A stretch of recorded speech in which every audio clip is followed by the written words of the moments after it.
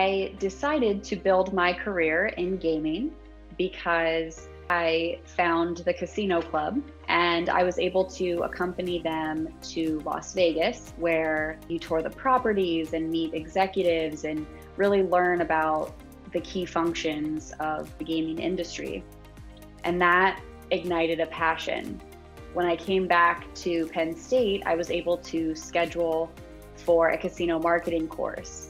And that was the most excited I had been about school in a while because it was the perfect marriage of my creative and analytical sides. The growth potential is huge. Online gaming really has taken off just in the last few years. And as more states legalize the online gaming, you know, it's only going to grow.